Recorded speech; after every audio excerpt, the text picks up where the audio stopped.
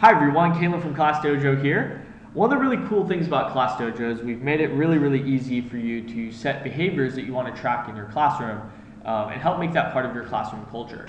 And so um, today I'm going to show you how to actually go in and add some behaviors of your own um, on top of the ones that we've already preset for you.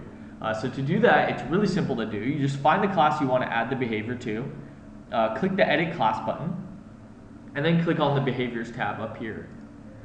Once you do that, you can see all the behaviors that you're tracking in class. You can click on negative to see the ones uh, that you're trying to discourage in class.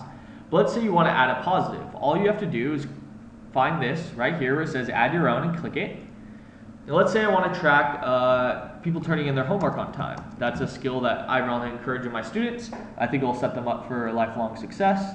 Um, I can go ahead and click uh, here to change the, the icon. So I'm going to choose this clock, it seems to make sense, and then hit save.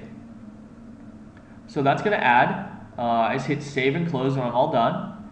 And now when I start class, I can click on Bert and give him uh, recognition for turning in his homework on time. And that's how it works. It's pretty simple to do, uh, but please let us know if you have any questions, and thank you very much.